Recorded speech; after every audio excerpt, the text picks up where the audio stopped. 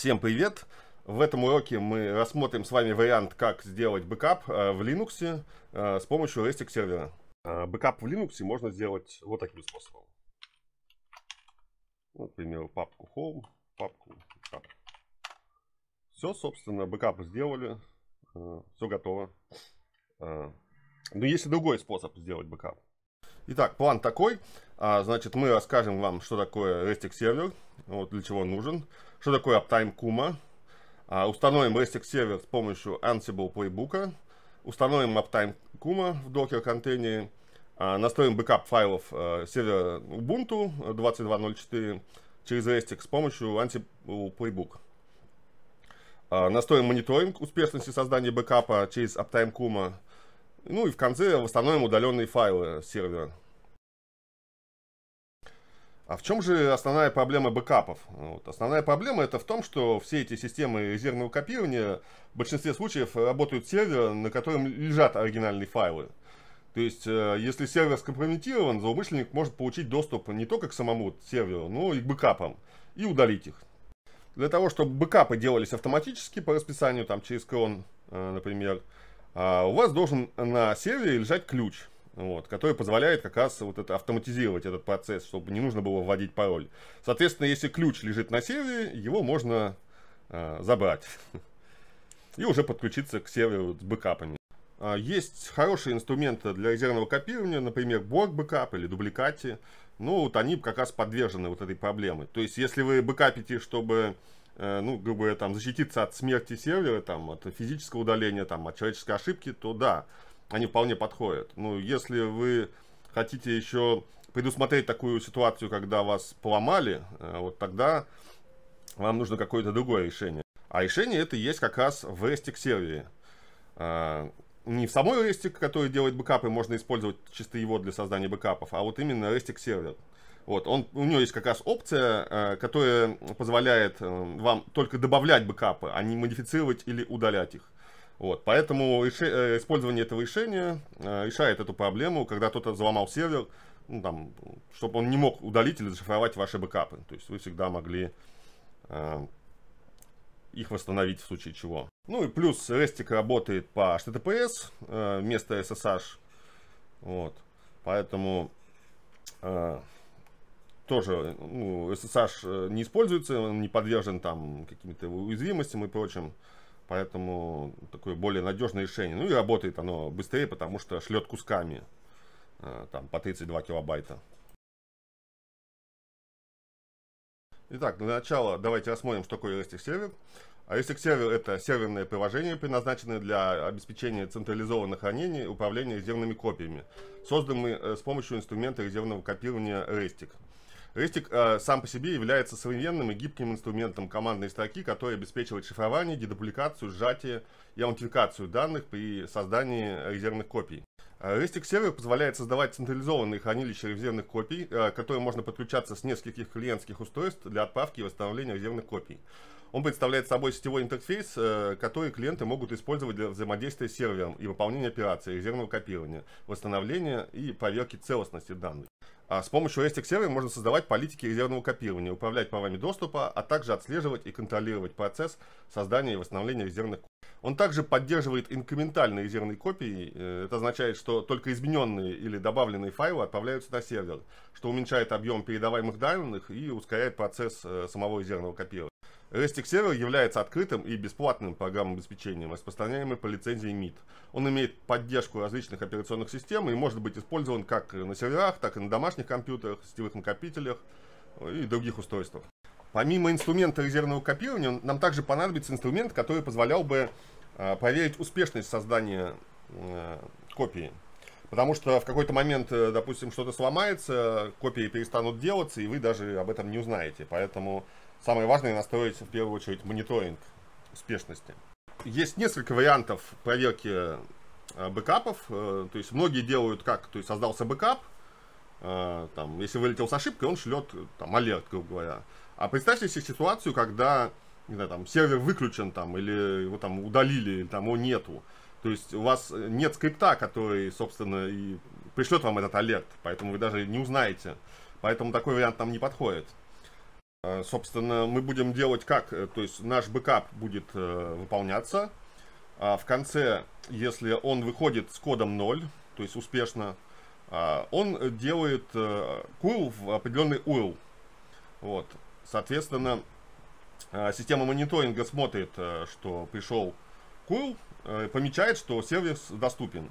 Если там в течение, допустим, дня, там суток э, его не дернули этот URL, значит бэкап э, не создался.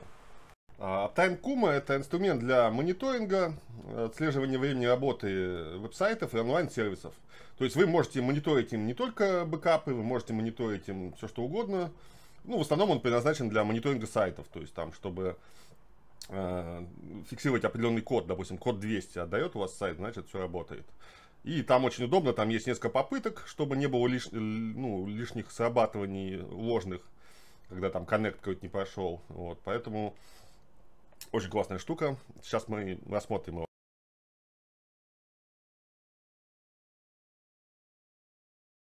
Итак, давайте начнем. Я подготовил три машинки облаке Corpsoft 24. А, у каждой машинки внешний адрес. А вот, значит, бэкап, сайт и Uptime Kuma. Давайте каждую рассмотрим. Первая машинка это тут будет наше приложение.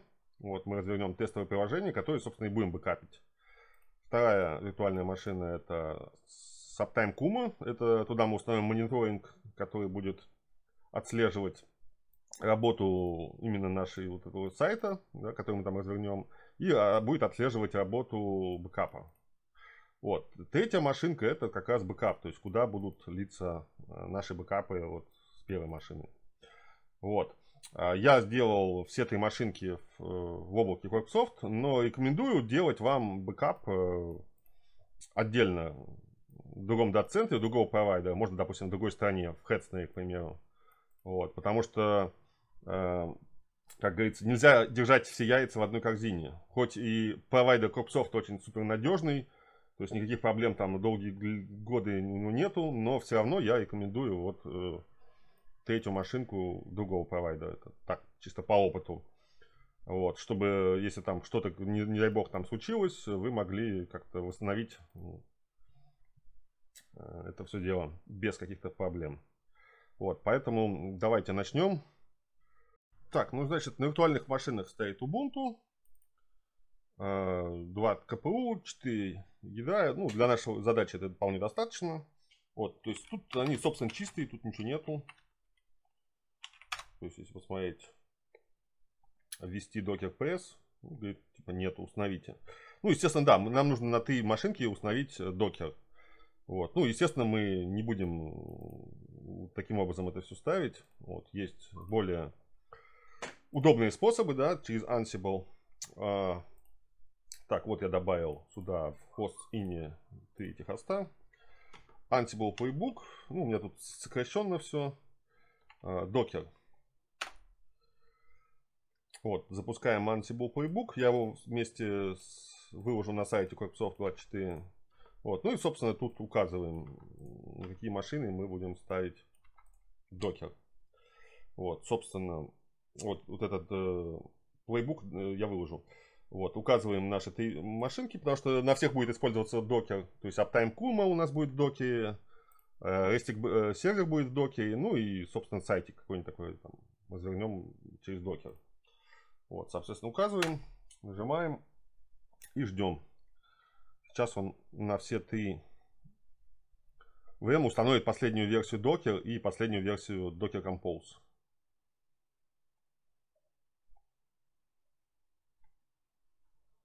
Установка завершена, все окей, никаких фейлов, ничего. Вот, можно тут посмотреть как раз вот, что он делает. Вот у меня Docker файл, собственно, вот добавляет репозиторий, устанавливает необходимые дополнительные пакеты, а, вот, скачивает ключи, добавляет репозиторий Docker, чтобы последняя версия была, ну и потом ставит Docker CE, CLI, контейнер D и вот Docker Compose плагин. Вот, потом добавляет э, все это дело в автозапуск. И вот единственное, еще я себе делаю алиасы, чтобы не вводить вот такие длинные команды. Тут вот у меня есть определенные алиасы, которые позволяют ну, быстрее работать. Ну, собственно, все такой простенький Docker Compose файл. Все, собственно, э, переходим сюда у нас. Э, и уже набираем то же самое. Все, у нас уже докер появился. Так, следующее, что нужно сделать всегда, абсолютно, после того, как вы развернули чистую машину, начинаете что-то ставить, это установить firewall туда. Вот, я использую UF э, под Ubuntu. Также у меня есть готовый Ansible Playbook, который позволяет мне его там настроить. Вот, давайте запустим. Также укажем все наши хосты. Три. То есть мы на все три машины будем ставить firewall. То есть все должно по умолчанию быть закрыто. Вот видите, тут э, у меня есть э, вопрос разрешить порт э, запретить. Ну давайте разрешим на всех трех, потому что хотя нет, нет, нет, давайте лучше запретим, а вот здесь вот на одном потом откроем. А все остальное, тот же Uptime Kuma, он должен быть тоже закрыт. Вот. А, чтобы туда никто чужой не мог попасть. Так что пишем false и ждем, пока он установит на всех трех firewall. Вот. Почему firewall важно? Потому что у любого приложения рано или поздно появляются какие-то уязвимости. Вот. У того же там Uptime Kuma, допустим, мониторинг или еще что-то. Э, или OSSH. Э, вот. То есть заходить на сервера нужно только с разрешенных IP-адресов. Вот, для этого можно использовать, как я использую VPN. То есть вы подключаетесь к VPN, получаете какой-то статик IP, вот, который не меняется, и с него разрешен, собственно, доступ на этот сервер. Вот, соответственно, если как бы не в VPN, то зайти не можете. И, соответственно, никто не может. Поэтому это очень важно. Поэтому, если у вас там какая-то уязвимость, э, там в SSH нашли новую, да, вам не нужно там что-то быстро бежать, обновлять все это дело, потому что у вас SSH и так закрыт. То есть до него не добраться, потому что э, у вас VPN. Вот. Ну и также вот я еще дополнительно защиту делаю через deny host. Host all, hold deny. Вот, то есть запретить всем подключение SSH и разрешить там только с определенных адресов. Вот, собственно, ну это как бы избыточно, вот, но бывает такая ситуация, допустим, при которой там взял кто-то firewall отключил, к примеру, там, чтобы SSH оставался недоступен всегда. Вот, поэтому э, есть, есть такой вариант, что использовать дополнительную безопасность. Вот, все, UF остановили. Можно также зайти на какой-нибудь сервер и посмотреть. Вот у нас, видите, разрешен э, доступ к этому. И разрешен э, вот это forward, это в докер контейнер, чтобы заходить. То есть, если у вас там порт проброшен докер контейнер, вам нужно вот такое правило еще добавлять. Вот. Собственно, все. Firewall установили, докер установили. Можно устанавливать теперь вот, начинать с мониторинга. Для установки кумы мы будем использовать Docker Compose. Вот я как раз подготовил все необходимое. Вот. Ну, я, в принципе, сделал просто простой такой баш-скриптик маленький. Просто вы его копируете, вставляете и все, все установлено. Можно, конечно, делать через Ansible, но это не так часто нужно и не нужно на, там, на каждый сервер ставить куму. Вот, давайте посмотрим, как работает. Ну, создаем папку. Я обычно создаю папку app, а, потому что ее буквы А нету в корне э, Linux, и туда удобно заходить, там нажимаешь CD, и А, и сразу он тебе app. Поэтому в app. Вот. Далее мы создаем в этой папке э, папку для перечисления данных э, Кади и Кумы. В Чмоде мы создаем э, сеть Кади.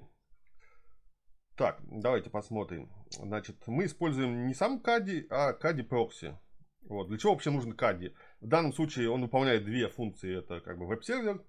Он выполняет первую функцию, это создание и поддержка SSL-сертификата. Вот. Э, а второй момент, он позволяет нам э, ограничивать доступ к нашему приложению, там, допустим, вот с помощью авторизации, там, Basic WAF, ну, либо вот я использую э, только whitelist, то есть э, можно зайти только по белым адресам. Вот, далее. Image.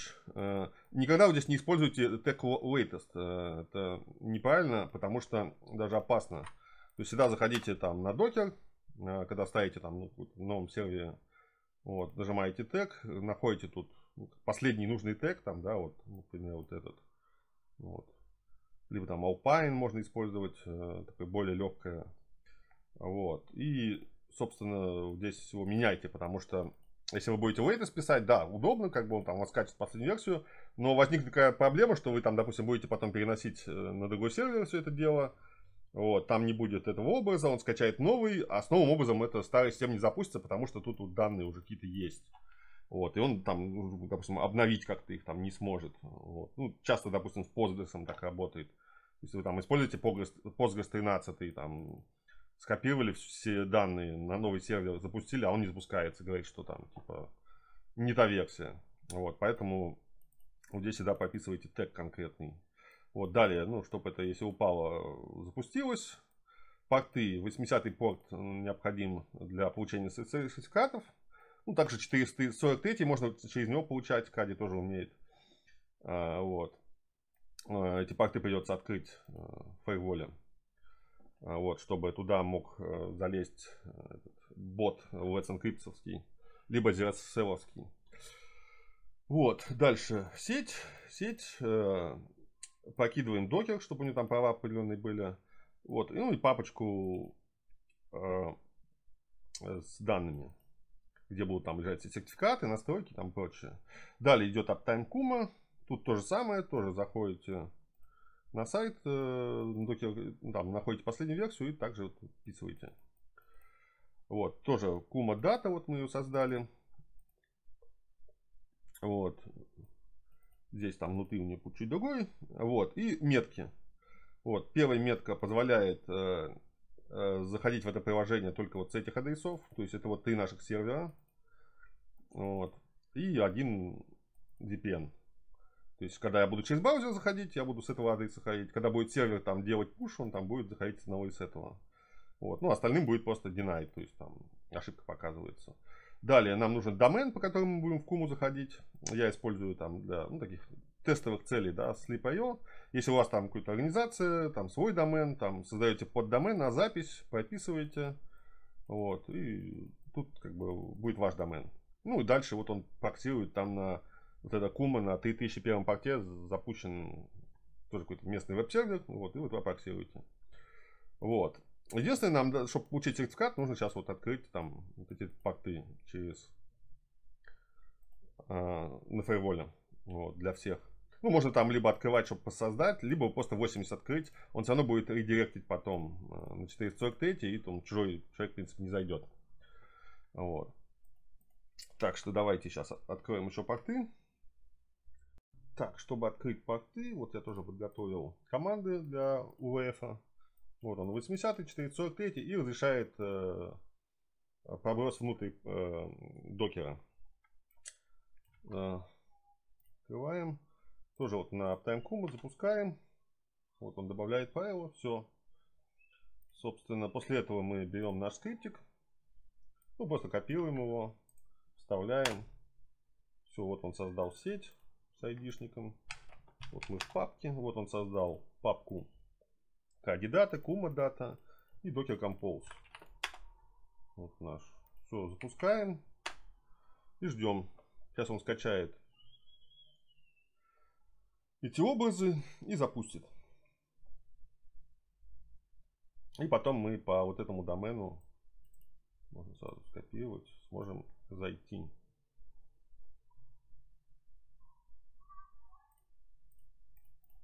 Да, вот наш домен. Итак, у нас все установилось, стартануло. Вот можно посмотреть. Хотя лучше вот так вот посмотреть. Вот. Запущено. Это 3001 порт. Ну и скани туда подкрессируются. Вот мы берем наш домен. Собственно, открываем браузер. И заходим по нему. Вот у нас генерировался сертификат. Let's Encrypt. Вот. Ну, Кади делает либо Let's Encrypt, либо ZSL.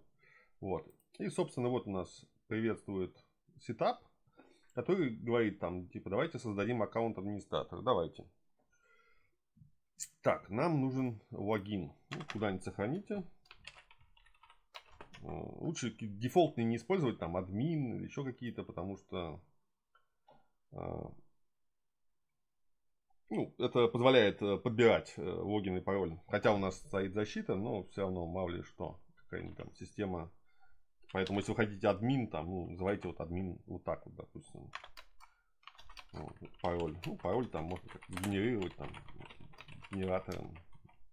Собственно, тоже не важно. Вот, собственно, мы копируем. Создать.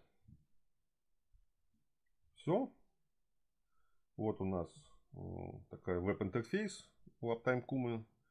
Вот, есть такие настройки. Тут можно добавить вот в настройках самые важные уведомления. Вот, тут есть куча прям различных э, сервисов. Ну, я вот использую, например, Telegram. Вот. Тут как бы создаете бота, пишете Telegram бота, ID чат, и он вам присылает э, все алерты.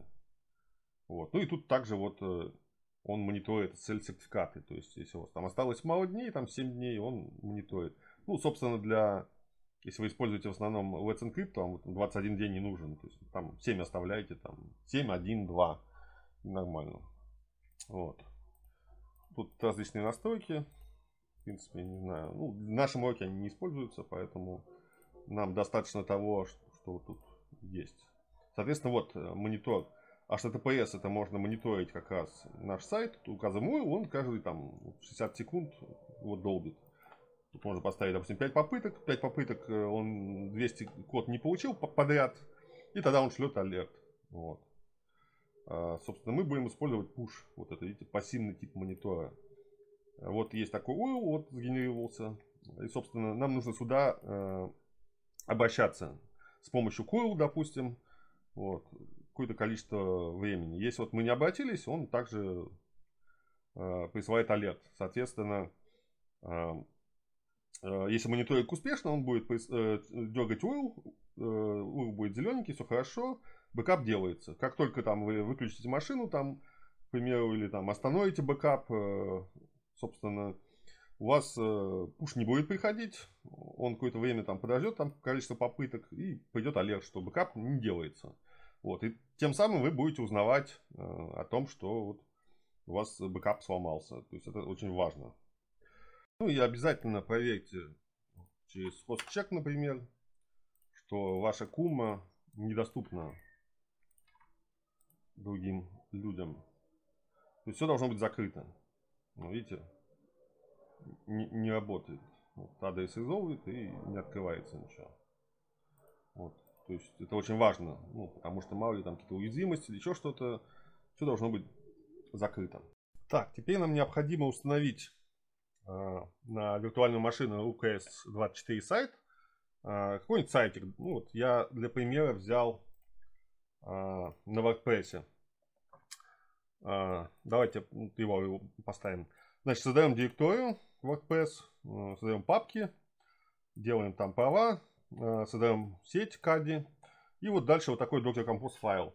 То есть ставится CADI, он создает сертификаты, поддерживает их. Вот последняя версия на данный момент.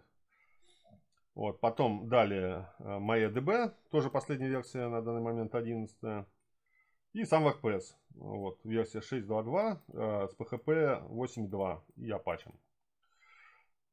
Э, собственно, вот здесь у нас э, открытые порты. Нужно будет как раз вот э, на виртуальную машину разрешить доступ извне со всех адресов. Давайте это сделаем. Есть.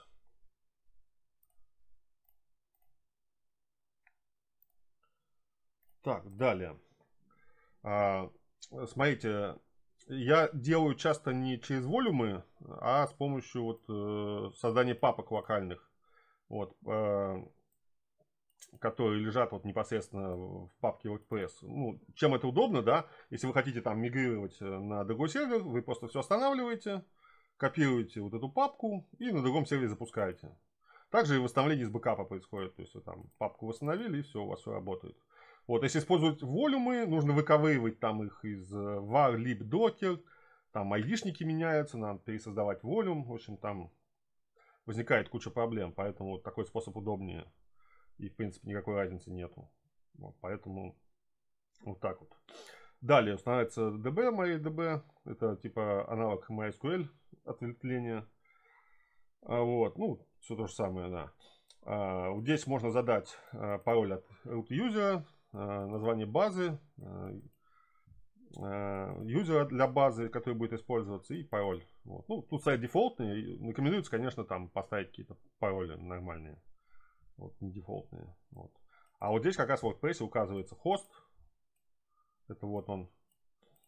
И указывается вот э, имя юзера, имя базы и пароль. Далее вот э, метки скади. А, значит, это домен. То есть у вас какой-то свой будет. Я использую для тестов вот Sleep.io. А, вот, значит, этот сайт направлять а, на 80 порт. Вот в этот контейнер. Вот. Ну и вот дополнительно поставил а, еще одно правило, чтобы а, с www он редиректировал на без www. Потому что есть до сих пор какие-то странные люди, которые набирают сайт э, в интернете, там, в браузере, начинают www писать. Вот они такие люди есть, да, поэтому вот приходится еще э, дополнительно для них вот делать такую вот историю. Вот, собственно, все. Э, копируем, э, вставляем. Вот создавать сеть. Вот можно посмотреть, э, создались все необходимые э, папки, э, в которые будут данные храниться. И запускаем вот пули CDB, WordPress, Кади. Вот параллельно.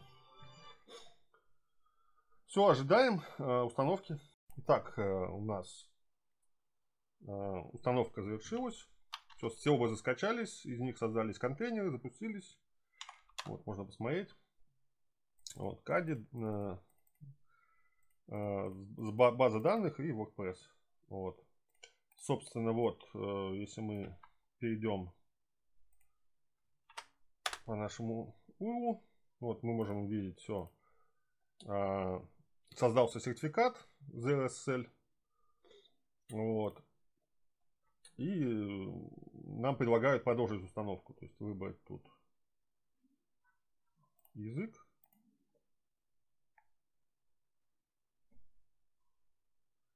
Вот, название сайта. Не знаю, там можно my сайт для теста. Имя пользователя. Лучше избегать всяких пользователей типа админ. Там, если хотите, там, ну, можете какое-нибудь такое сделать, чтобы уменьшить вероятность под, пароля, под, э, пароля подбора.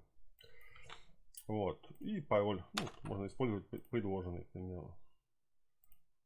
И какой-нибудь э, e-mail. Вот. Закрыть от индексации. И вот установить WordPress. Все ждем и он установит. Все, теперь можно вот войти в, а, собственно, в личный кабинет.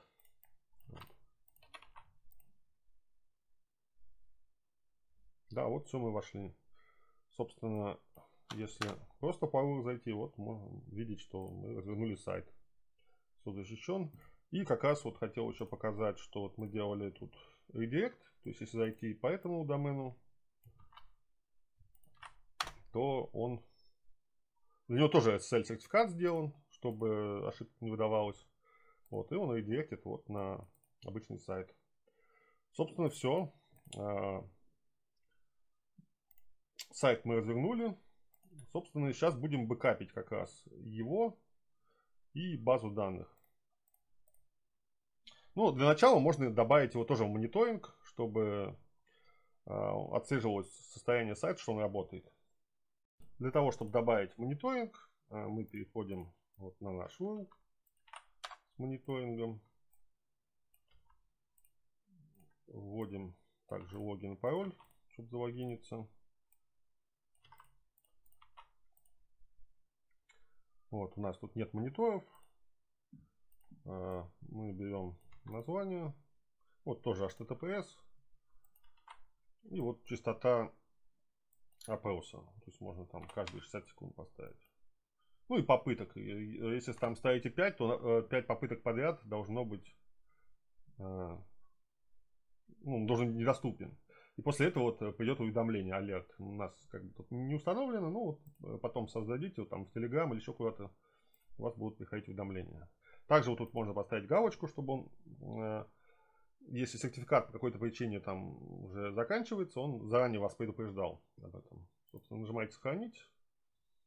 Все, вот он первую попытку сразу сделал, получил 200. И, собственно, вот будет э, каждые 60 секунд проверять. Вот. Это мониторинг именно сайта. Но мы ставили мониторинг не для сайта, в принципе, а для мониторинга бэкапов. Чем как раз сейчас займемся. Давайте теперь приступим к установке и настройке нашего сервера для бэкапов. Итак, давайте теперь установим э, на виртуальную машину UKS-24 Backup как раз RESTIC сервер. Э, есть на GitHub инструкция, собственно, как это сделать. Вот можно как бинарник просто скачать отсюда. 0.12.1 последняя версия. Ну, либо вот э, они выкладывают э, в Docker Robots. Вот, предлагают, э, ну, тупо вот так запускать. Ну, прям совсем не очень. Мы так запускать не будем. Э, я подготовил Ansible Playbook ну, для установки. Соответственно, вот, давайте посмотрим. Он будет устанавливаться в Docker Compose. Вот. А для начала вводим хост, запрос хоста. Вот как раз мы будем ставить вот его сюда. Далее ставится необходимый софт. Вот, ну, для того, чтобы хотя бы вот этот URL скачать, там если URL нету. А скачивается последний бинарник рестика, не сервера, а именно рестика. Он нужен для того, чтобы мы могли на хостовую машину там подключать э, э, ну, вот эти репозитории уже рестиковские. Вот, чтобы там посмотреть какой-то файл и прочее, чтобы там заходить в какой-то внутрь контейнера, в котором там, допустим, нету, а на хосте прям. А, вот, э, скачивается, распаковывается, ну и, собственно, копируется э, в user bin. Вот, потом удаляются лишние файлы. Вот, далее мы создаем э, уже для RESTIC сервера директорию. Вот я также папку apps это все ставлю. opt rest server Э, папка data. Тут будут как раз э, храниться наши репозитории. Далее мы создаем HTTP password. Это для того, чтобы э, ну, файлы, которые мы подаем ну, через бэкап, они требовали пароля. Ну, то есть не просто бэкап, да, там, а именно через пароль. То есть там будет два пароля, ну, чуть дальше покажу. Вот, далее создаем файл docker compose. Вот, указываем туда, вот у нас как раз последняя версия 0.12.1. Э, будет называться контейнер REST сервер.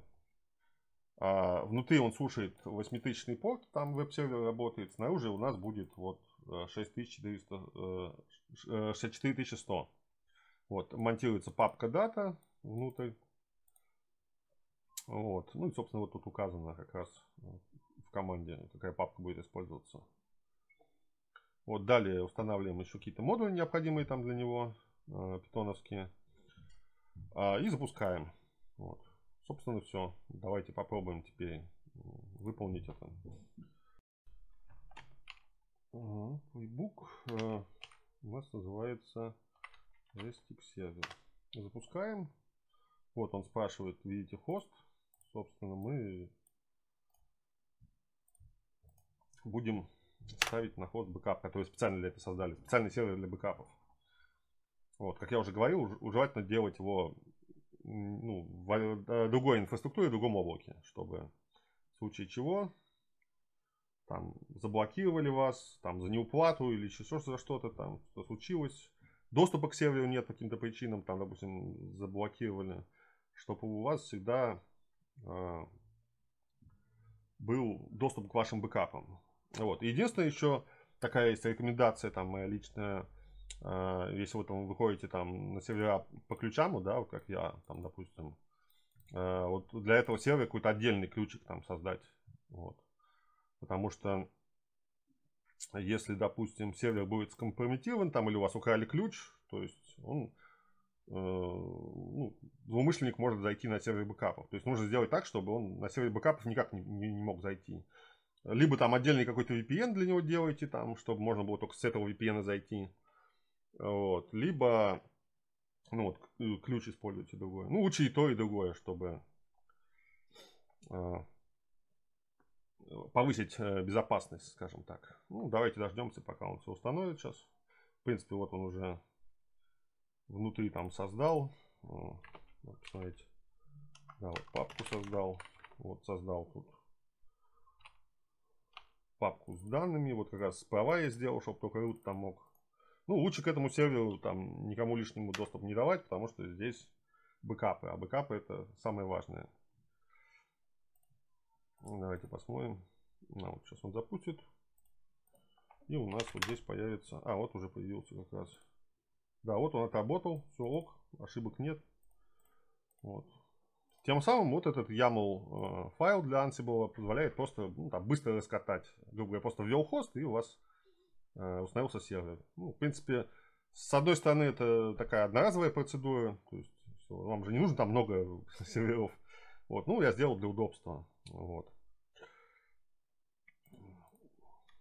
Вот, соответственно, э, снаружи порт 64100, внутри 8000. Э, соответственно, если вы там даете доступ э, какому-то URL, да, вот вы должны разрешить ему 60, 64100, а вот здесь вот как раз 8, 8000 порт. То есть вот так будет. Если хотите там всем разрешить доступ. Ну, конечно, так делать не нужно. Вот. Все. Э, э, сервер готов. Теперь нам осталось э, вот, наш сайт забэкапить, собственно, этот сервер. Так, прошло уже около 30 минут нашего урока, но мы так и не начали создавать бэкап. Поэтому давайте уже все-таки начнем. Для этого нам понадобится также Ansible Playbook. Вот я подготовил. А, который позволит нам, в принципе, введя там несколько параметров, а, настраивать оба сервера. Да, сервер клиента и сервер бэкапа.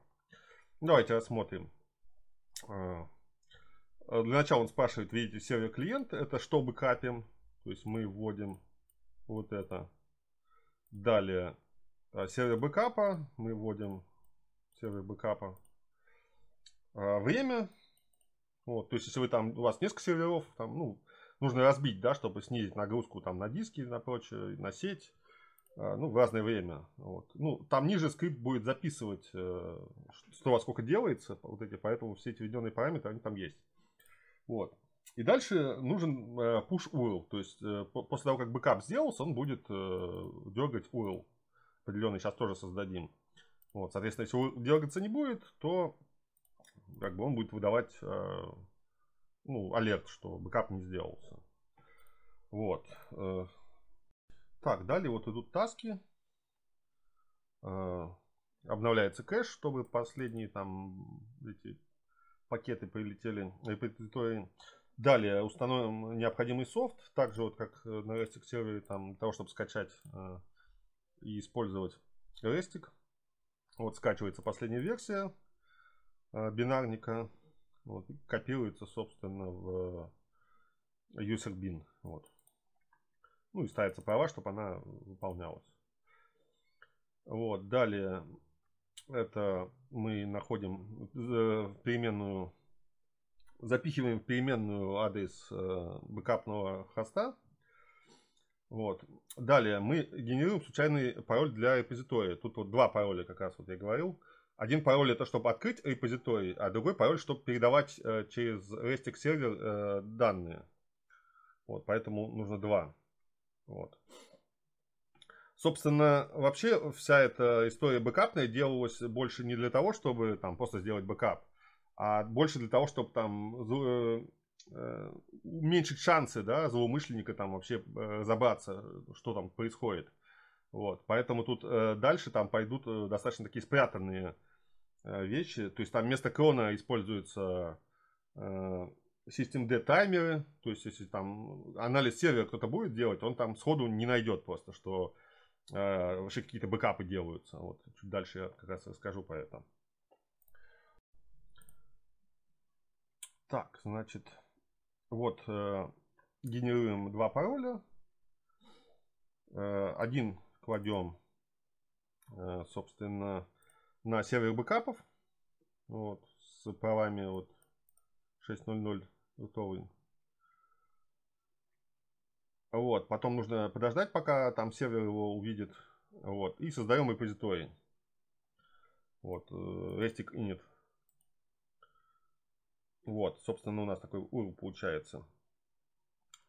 Далее, а, вот, э, я сделал, чтобы э, создавался файлик на локальном компе, ну, где все прописано, чтобы, ну, это нужно будет потом сохранить, да, то есть э, тут будет адрес сервера, куда что бэкапится и пароли, и время бэкапа, вот, то есть можно потом, единственное, да, вот это нужно хранить потом зашел в каком-нибудь контейнере, допустим, в кипасе, да, чтобы это не, не, в тексте, не в текстовом документе было. Вот.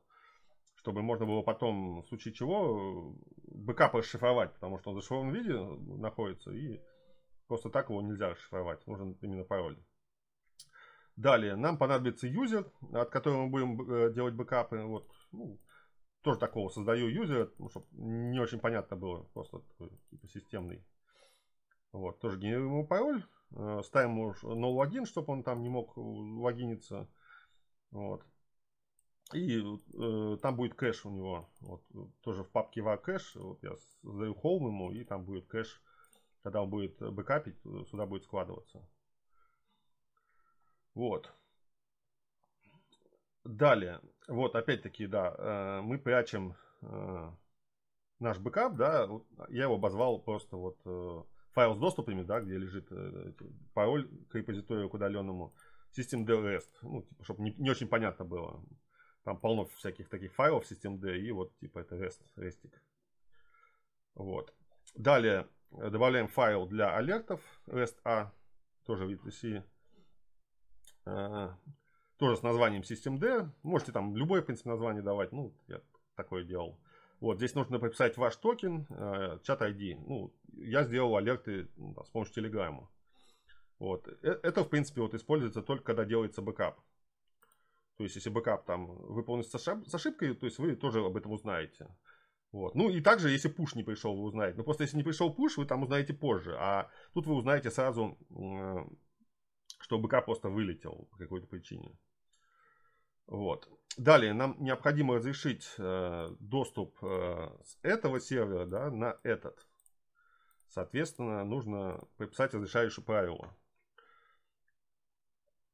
Вот, собственно, внешний порт у нас 64100. И вот он для э, адреса, э, ну, вот этого разрешает доступ э, сюда. Вот только по этому порту. То есть э, зайти отсюда, э, с этого сервера или с этого сюда по SSH невозможно. То есть э, там закрыто ну, все. То есть можно зайти только через VPN. Вот. Ну и, собственно, вот чтобы внутрь докера попадать, тоже нужно открыть порт, точнее разрешить порт 8000. Это вот уже, чтобы внутрь докера было. Далее вот добавляем службу systemd. Э, тоже я так назвал, запихал, чтобы ее сложно было найти. Вот. Systemd REST, там тоже полно названий э, служб systemd. То есть это непонятно, что это бэкап просто. Вот, потому что если вы там даете доступ э, какому-нибудь разработчику, допустим, на сервер, да, он может там начать лазить, если у него там будет доступ к докеру, там в группе docker он, он там еще какие-то права будет иметь, он начнет там смотреть, что там вообще есть. Э, вот. Ну, лучше не давайте. Вот. Но если все-таки вам приходится, то вот как бы нужно максимально шифровать, что у вас какие-то бэкапы делаются. Далее. Вот, э, юзер, который будет делать бэкапы. Соответственно, вот такие права ему нужны. Э, чтобы делать бэкапы, больше никаких прав не нужно. Вот. Это достаточно, чтобы сделать бэкап всех, файлов. Всех файлов. Так, далее.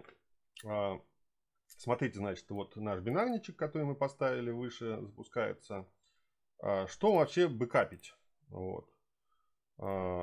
ситуации там разные бывают, да, вот вы можете бэкапить там, ну, говоря, там, папку app, к примеру, да, а, если вы уверены, э, что только там у вас, ну, можно там home бэкапить, еще какие-то папки бэкапить. Я э, просто сталкивался с такой ситуацией, когда э, разработчик сделал какой-то там Docker-контейнер, вот, сделал там volume ы для него, вот эти, все там, все окей, но он забыл добавить какую-то папку там в качестве volume а и, собственно, Э, ну, ее бэкап не делался, потому что как бы ее нету там.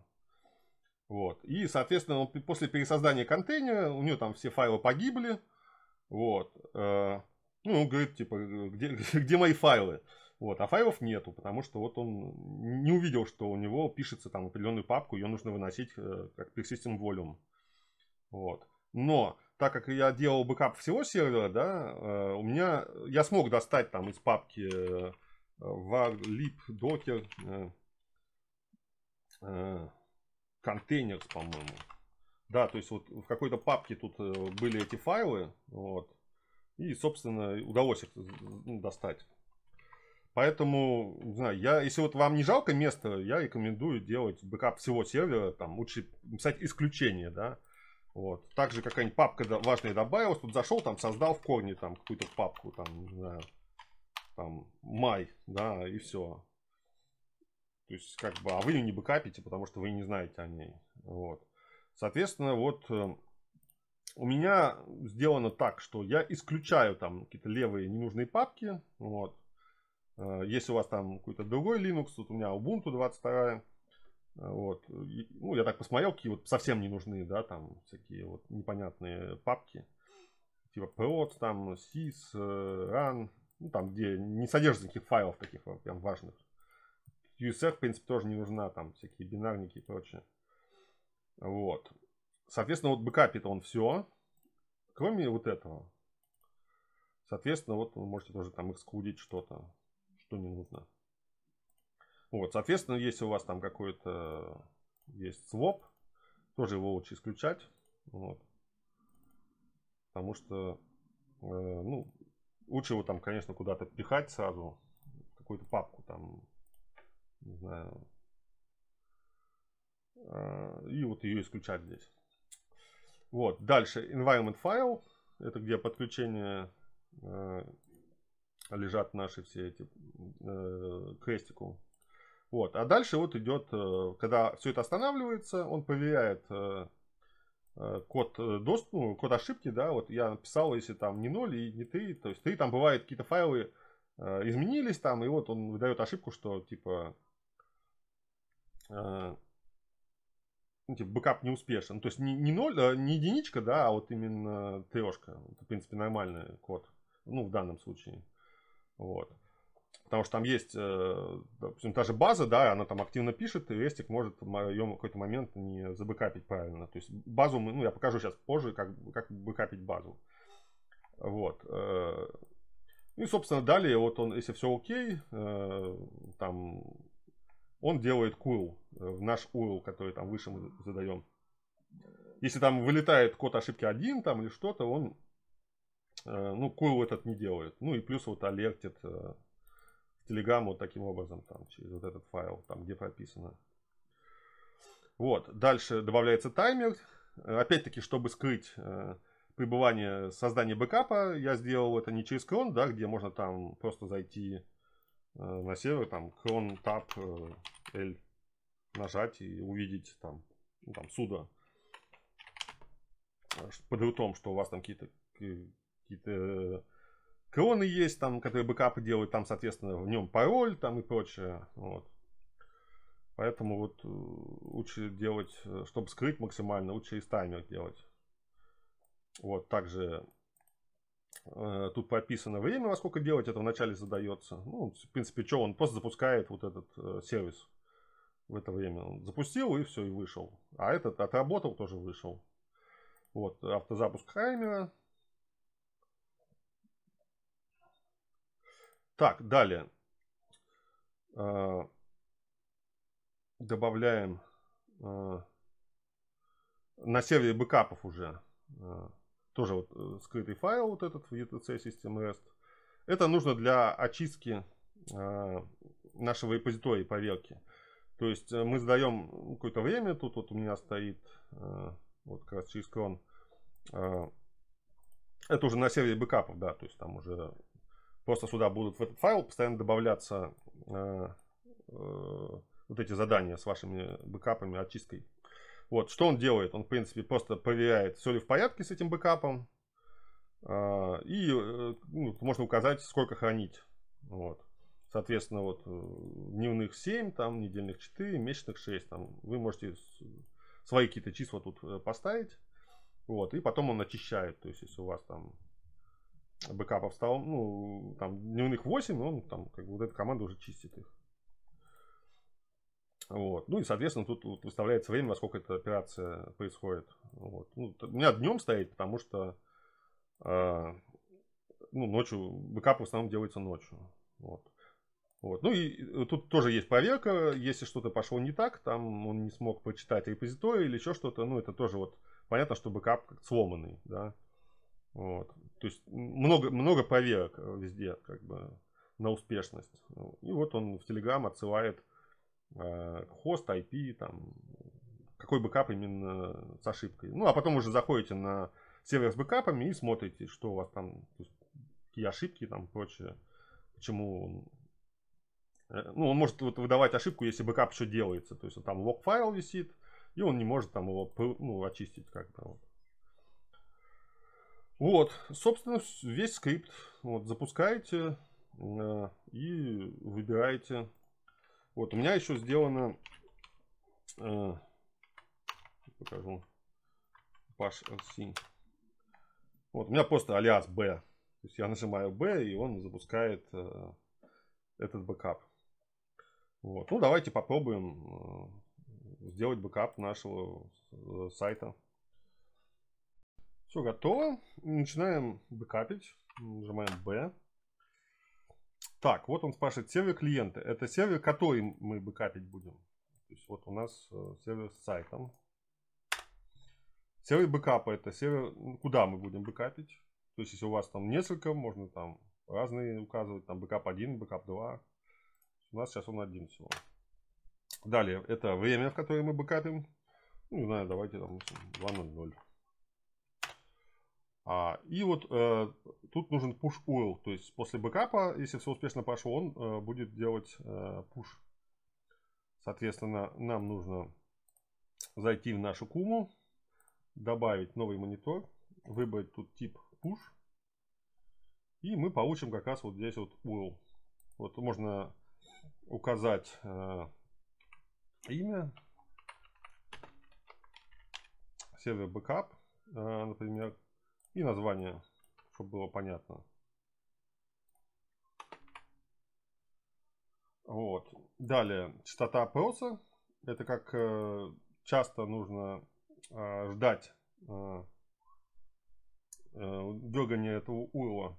Соответственно, если у нас бэкап раз в сутки происходит, то, не знаю, можно поставить сколько? 100 тысяч секунд. Это сколько в минутах?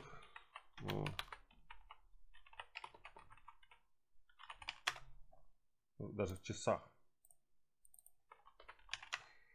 Ну, 27 часов, да. То есть, грубо говоря, если у вас бэкап в сутки, вы ставите 100 тысяч секунд, то если в течение 27 часов а, не придет а, этот а, push, то бэкап будет считаться неуспешным. неуспешным. Вот, то есть мы копируем этот URL. Вот, э, число попыток это, в принципе, тут можно 0 поставить. Ну, лучше поставить, чтобы лишнее срабатывание. Там бывает иногда, что что-то там не прошло или долго делался. Вот, чтобы он все-таки как- как-то хоть не спамил, да, там, что постоянно. Когда у вас там тысячи серверов, э, вот, чтобы не было спама никакого. Все, тут пусто. А, тут будут появляться, собственно, зелененькие штучки, когда происходит пуш. Когда не происходит, будет там желтая или красная. Когда красная, уже все будет алерт. Вот, соответственно, мы этот oil, вот этот, вставляем в Ansible сюда. То есть он добавится у нас на сервер бэкапа. Точнее, на сервер, где бэкапится. Вот, запускаем. А, и, собственно, ожидаем. Вот он. А, на первом сервере как раз, где у нас сайт, сейчас будет все устанавливать. То есть он поставит там как раз рестик, вот он. А, сначала вот он обновляет кэш, это apt get update по сути. И потом ставит вот необходимый софт. Вот мы как раз дошли до этого шага. Ожидаем.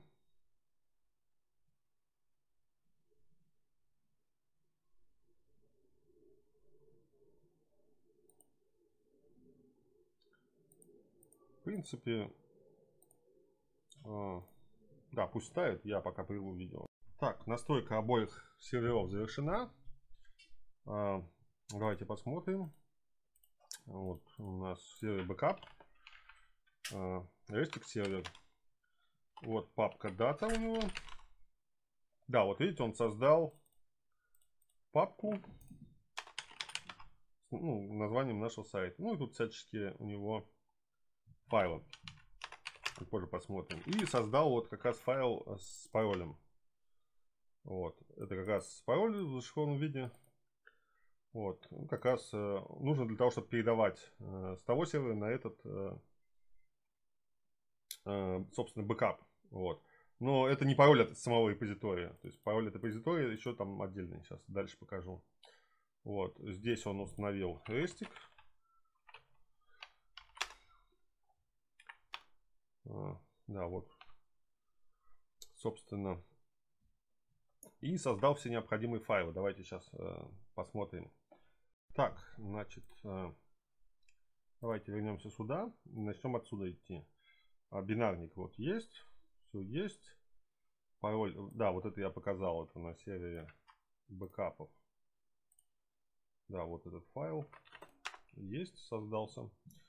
Далее идем. Репозиторий, ну вот он как раз в папке data тоже создался. Далее, вот он добавил как раз файл вот мой локальный, да, э, данные необходимые, вот можно его открыть, посмотреть. Вот как раз бэкап сервер, э, где лежит бэкап, его адрес.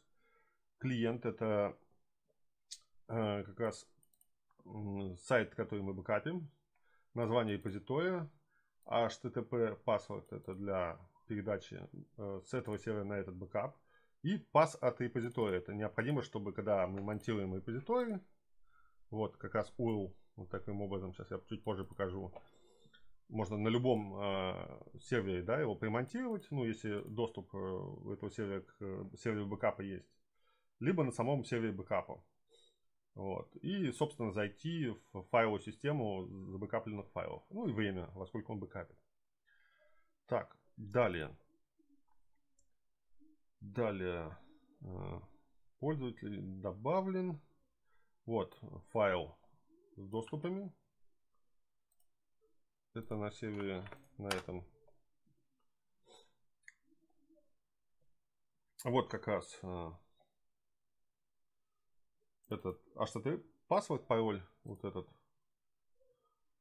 э, чтобы заливать туда файлы. И, собственно, пароль от э, самого репозитория. Э, чтобы шифровать этим, этим паролем, шифруется как раз э, репозиторий. Далее. Э, вот такой файл создался. Это для алертов. Он тоже вот на сервере сайт.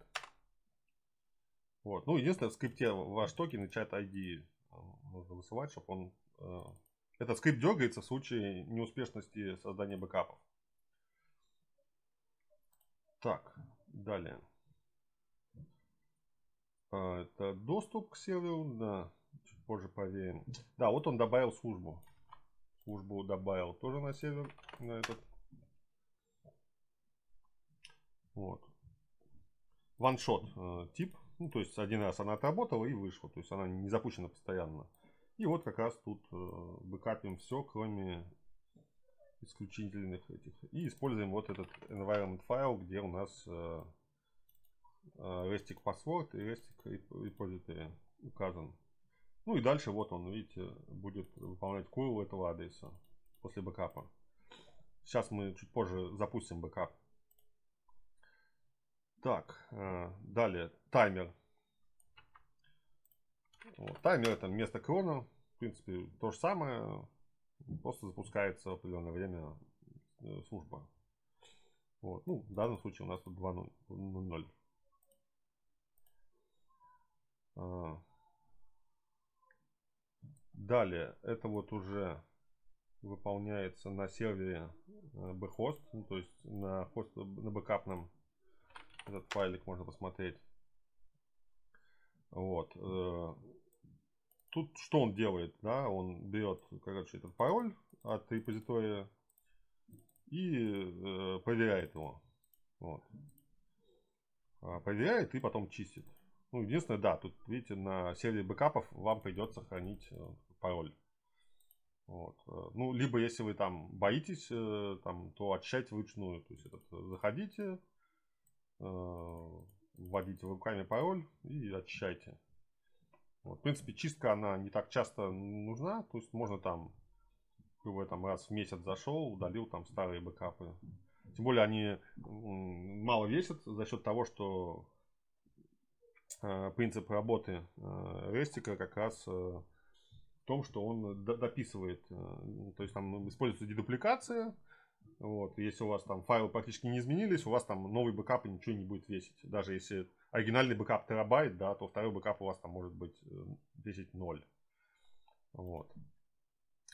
А, ну и, собственно, вот, да, добавился cron который просто этот, э, э, дергает этот файл, по сути, SSH скрипт, который, в принципе, как называется как э, conf. Вот, можно посмотреть. Да, вот он ну, дергает. Можно попробовать запустить. Вот. Ну и тут ну, какую-то определенную информацию выдает, что вот репозиторий. Ну, пока у нас ничего нету. Вот. Давайте сейчас запустим бэкап и э, посмотрим. А, бэкап, э, по идее, запустится сам в 2 часа ночи. Ну, давайте запустим пораньше. Вот, я подготовил тут несколько команд. Э, можно посмотреть вот статус, к примеру.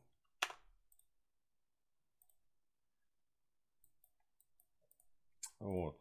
Ну, неактивный. Что его запускает, вот триггерит байт э, таймер. Вот, соответственно, э, можно там службу подредактировать. Да, если там что-то у вас хотите там другое там что-то exclude сделать там или include, короче. Вот. Далее, ну, если вы подредактировали, вам нужно Diamond Reward сделать. А, запустить просто старт. Запускаем. Ну и, собственно, ждем. А, обратите внимание, тут вот перед запуском стоит пробельчик. Вот. Когда стоит пробел в Ubuntu, он это не пишет это в history. Поэтому, как бы, старайтесь бэкапы там, ну, не светить нигде, что вы там бэкапы делаете. Пусть там никто об этом не знает лишний раз. Поэтому ага, добавляйте пробел в начале. Вот, давайте перейдем на посмотрим, меняется ли папка.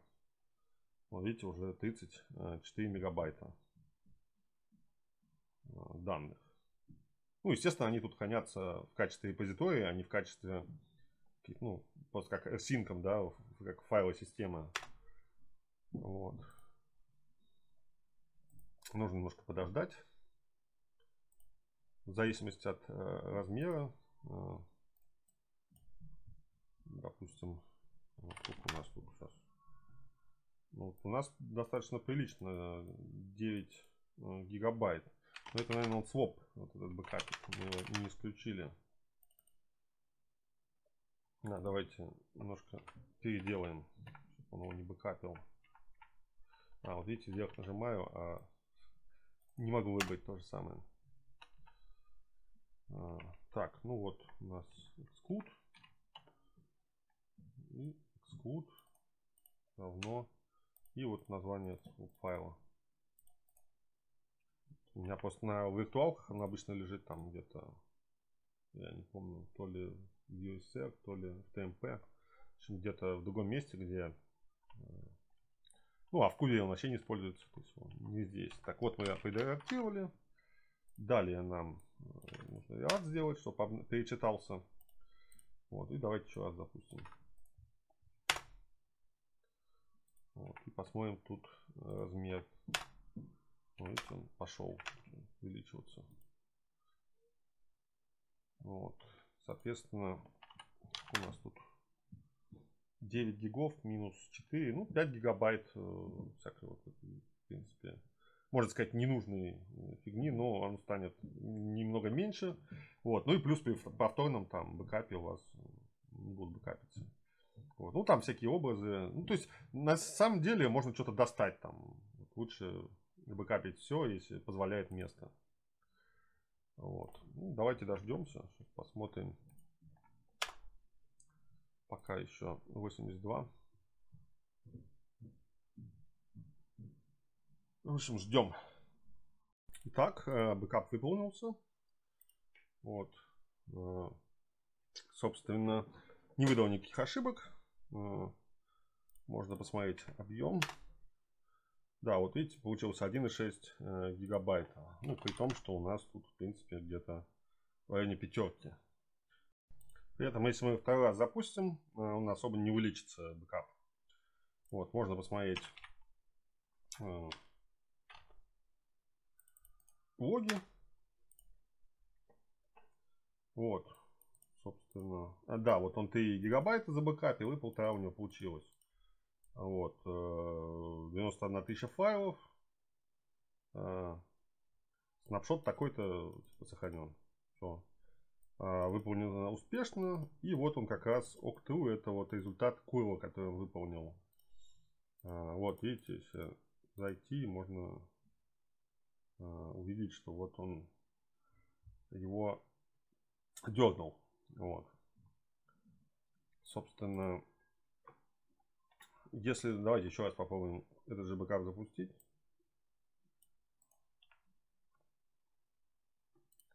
Второй раз он должен быстрее намного сделаться, потому что там кэш создался и файлы вот уже. Вот видите, тут типа новых директорий, новых файлов. Вот количество измененных он все это отслеживает. О, видите, как второй раз быстро прям. Первый раз долго, но, конечно, скорость зависит во множестве от сети, от скорости дисков, от процессора. Вот. Вот второй раз, вот видите, 10 файлов изменилось в системе. Остальные не изменилось. И вот, собственно, он 7 мегабайт долил э, в репозитории, которые заняли 300 там, килобайт. Вот, и, собственно, вот он второй раз дернул URL. Видите, уже два появилось тут этих. Соответственно, когда за этот период э, не дернут два раза, здесь сначала вот, попыток один, сначала желтенькая будет тут э, через 100 тысяч секунд, и через еще 100 тысяч секунд будет красненькая, и вам придет алерт вот здесь, вот, если вы настроите. Вот. Тем самым, вот таким образом мы вот сделали бэкап Э, добавили его э, ежедневное задание, которое выполняется в 2 часа ночи. Вот. Но есть нюансы. У нас, э, смотрите, используется WordPress. Здесь, ну, эта директория бэкапится тоже по дефолту. И здесь используется база данных MariaDB. Вот. В большинстве случаев, конечно, если там нагрузка небольшая, нет кучи операций записи, а, ну, если вы забэкапите просто тупо вот папку, вы потом ее восстановите на другом сервере, у вас все запустится. Но если там э, постоянная запись в базу идет, то возникнет такая ситуация, что э, файлы в этой папке окажутся неконсистентные, потому что база меняется постоянно. Поэтому базу данных нужно бэкапить отдельно. Вот, мы сейчас тоже, я вам покажу, как это сделать. Итак, вот наш скриптик для бэкапа MySQL. Вот, давайте сейчас его сделаем. А, вот тут э, я вынес специально отдельно переменные необходимые. А, первый это контейнер name, то есть это из какого контейнера мы будем э, бэкапить. То есть у нас MySQL. Нужно вот найти название. Вот оно. оно будет вот таким. Дальше, какой у нас юзер и пароль. Юзер и пароль можно посмотреть в Docker Compose файле. Вот наша, наш контейнер с базой. Вот, готовый паспорт. Вот сюда вставляем. Далее, э, директория с бэкапами. Ну, можно также куда-нибудь ее спрятать. Допустим, назвать ее etc systemd там, m, к примеру. Дальше, э, это токен бота э, Telegram и chat ID, куда слать алерты в случае ошибки при бэкапе.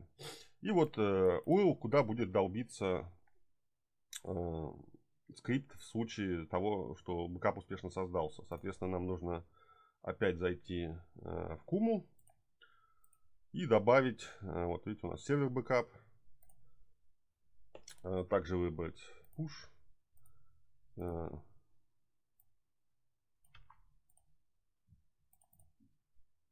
И вот здесь указать не сервер бэкап, а, допустим, MySQL бэкап. Также можно указать 100 тысяч, там чуть больше суток, ну и одну попытку. Вот, и вот мы получили вот этот URL. Соответственно, если скрипт э, по какой-то причине перестанет выполняться или что-то там случится, ну, то есть э, код ошибки будет там не нулевой, вот, тогда э, не будет дергаться этот URL, и, соответственно, мы, мы получим алерт, что типа скрипт не выполняется. Вот. Этот уровень необходимо ставить сюда. Собственно, все. Вот, далее он создает э, директорию бэкапов, если ее нету. И для каждого, вот, можно как бы, э, конечно, указать конкретный контейнер, э, конкретную базу данных, какую бэкапить. Я на всякий случай просто вот э, делаю э, show database, показываю, ну, там, убираю ненужные, и он бэкапит все базы, которые там в этом контейнере есть. Вот. Э, так как у нас пользуется не MySQL, MariaDB, они в 11 версии уже выпилили окончательно вот, команды MySQL. Можно использовать только команды MariaDB. Вот DB это для того, чтобы list database сделать, а это для того, чтобы именно дампить. И она в цикле. То есть каждую базу он э, дампит и gzip ит. Вот. Если код ошибки не ноль, он шлет Telegram э, ошибку. Вот, далее, если все, все вот эти выполнились э, окей, он как раз э, ну, делает curl URL. Ну и далее делает права на э, backup директорию 6.0.0, чтобы кроме рута там никто не мог э, туда зайти забрать этот бэкап. Вот, э, соответственно, потом мы делаем э, этому файлу, вот, кстати, этот файл, ну, типа скрипт, э, тоже спрятанный, делаем ему э, chmod, чтобы можно было выполнять только его. Вот, и запрещаем остальным юзерам и группам. Ну и, собственно, добавляем его в cron. Вот. Э, чтобы он выполнялся, вот у меня стоит час ночи. Соответственно, в час ночи там сделал бэкап базы, а в 2 часа ночи запускается бэкап уже с Restic а. Соответственно, у вас э, как бы, ну, он станет как файл, да, там за gzip ованный базы данных, и Restic ее уже переложит на сервер с бэкапами. Вот. Ну, собственно, тут у меня скрипт, вот, да, начинается также с пробела, чтобы в history не оставался ничего. Вот. Собственно, просто вот мы берем, копировать, ставить, все. То есть, если вот сделать контап, вот все, скрипт создался, можно его просто запустить. Запускаем скрипт, там ждем некоторое время, все. Octal о, видите, дернулся URL. Вот он. Только что. Поэтому все окей. Ну и, собственно, вот э, наша директория э, с бэкапами. Ну, вот тут две бэкапы. Э, два, два файла, да, с бэкапами. Вот как раз наш WordPress и MySQL, там всякие юзеры и прочее тоже ну, можно бэкапить, чтобы потом восстановить, если что. Соответственно, если вот делать как ну, можно посмотреть, вот, MariaDB, и вот тут все наши данные. Все окей. Вот, ну и, соответственно, в 2 часа ночи запустится бэкап Restic овский, и он эти файлы также туда утащит. Соответственно, у вас как бы есть теперь полный бэкап консистентных файлов и базы данных. Э, давайте теперь удалим э, наш сайт. Вот мы проверим, что все работает, все открывается. э, сайт мониторится. Вот можно поставить тут 30 секунд.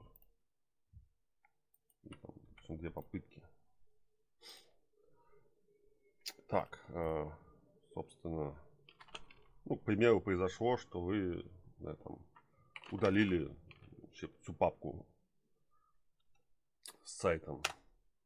Вот мы удалили. Ну, контейнеры там в памяти крутятся.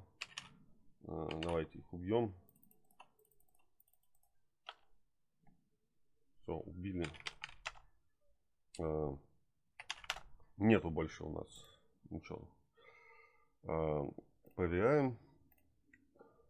Собственно, сайт больше не загружается. И мониторинг нам тоже показывает, что вот недоступен. То есть 443 порт не слушается. Ну, собственно, у меня стоит тут две попытки. Э, после двух попыток он уже будет всплывать алерт. Вот два раза желтенькая. То есть следующая попытка э, недоступности и будет алерт. Вот. Допустим, если вы настроите в Telegram или еще куда-то, тут много видов. Вот. Ну, соответственно, бэкап будет продолжаться делать, делаться.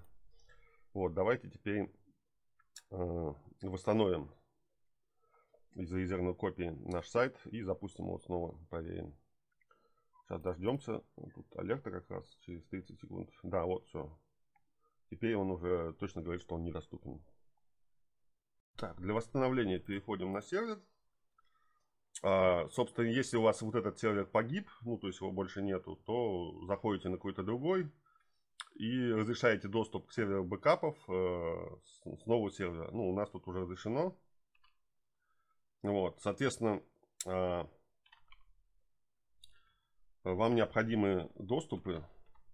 Вот здесь они записаны как раз вот в этом файле.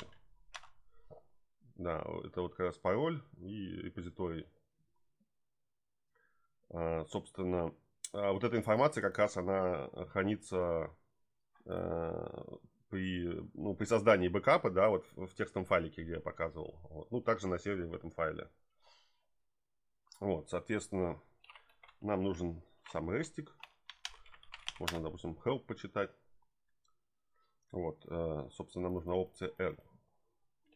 Рестик. И потом вот нам необходимо э, вот этот URL. Далее mount и куда монтируем. Ну, можно. То есть это как бы получается вы примонтировали удаленный репозиторий, что, что нужно вам скопировали и потом его отмонтируете.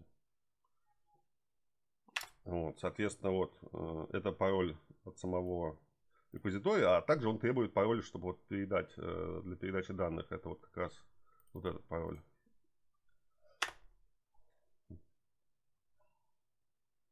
Нажимаем. Вот он говорит, типа, откройте другое окно. Вот, дублируем вкладку. И заходим в папочку MNT.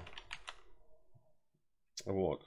Тут, соответственно, ну, всяческие различные файлы. Вот нам интересует папка Snapshots. Вот, видите, у нас три бэкапа сделалось. Один вот вручную и два там каждую ночь. Вот, ну, можно зайти в latest, как обычно. Тут хорошо, символьная ссылка стоит.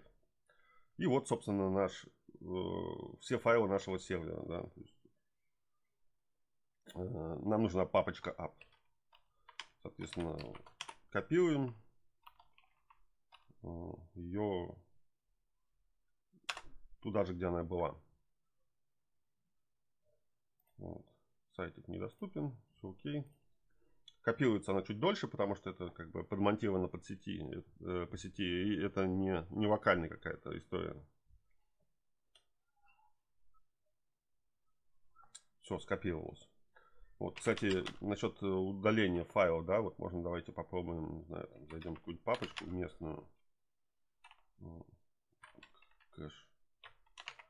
Это есть тут. И попробуем что там, что-нибудь удалить, какой-нибудь файлик.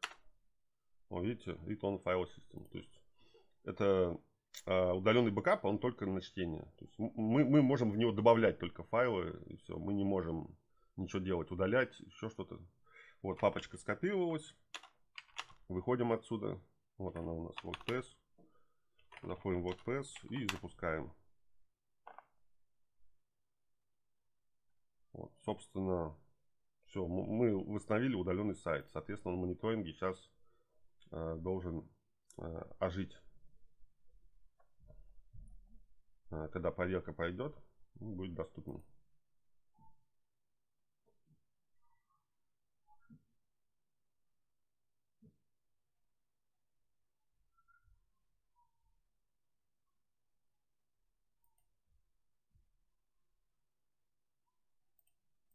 Вот, все. Ок. Соответственно, обновляем. Все, сайт восстановлен. А единственный момент э, с базой данных. Э, э, если в каким-то причинам она не запускается, то есть скопировалась э, в момент там изменя... ну, файлы изменялись, то есть стала неконсистентной, то мы должны восстановить э, из файла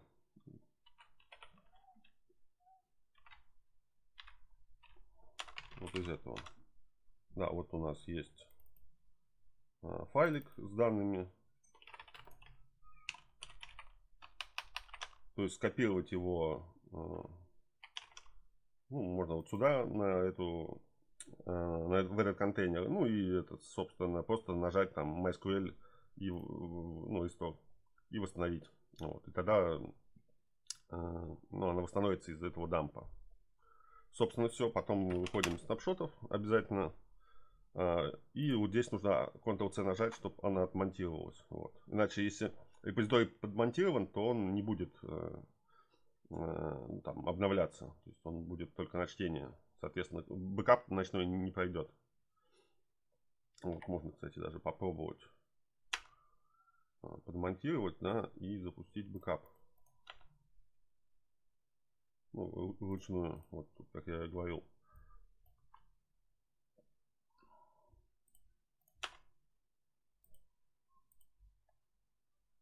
И он должен ошибку выдать, то типа используется. Ну, там, правда, тайм-аут определенный, сейчас он будет долго думать. Вот. Ну, сам факт, да, то есть всегда отмонтировать. То есть скопировали, что вам нужно, и от, от, отмонтировались. Да, вот. Посмотреть.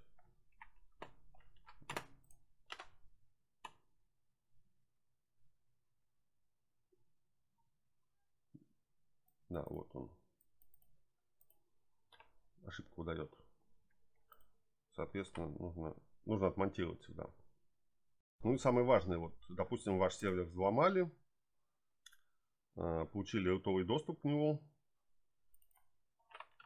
вот. Ну и, собственно, у них цель удалить все отсюда и удалить бэкап, чтобы вы не могли восстановить.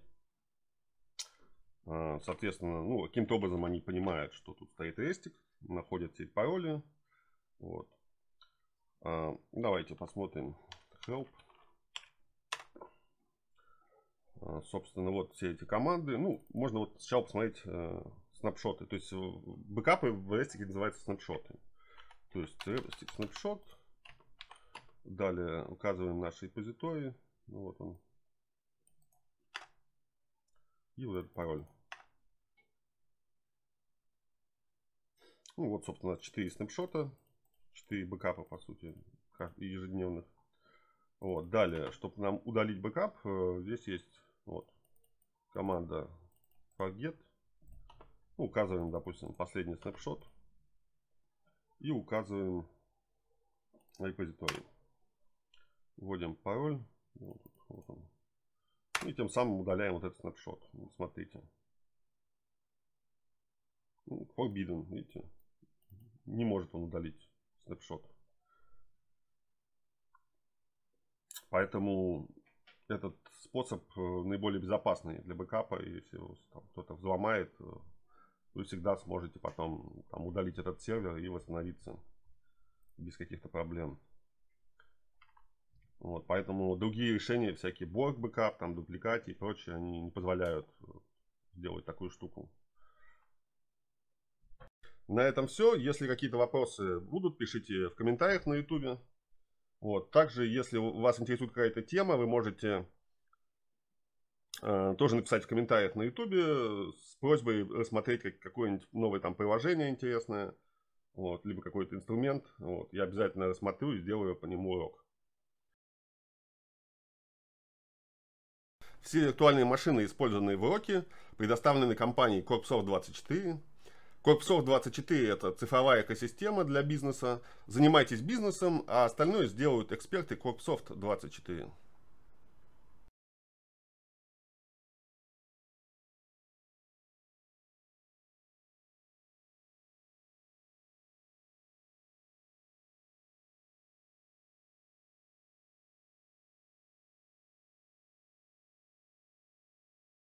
Все материалы из урока, плейбуки и описание э, будут размещены на сайте corpsoft24.ru. С вами был Сергеев Михаил. Всем спасибо за внимание.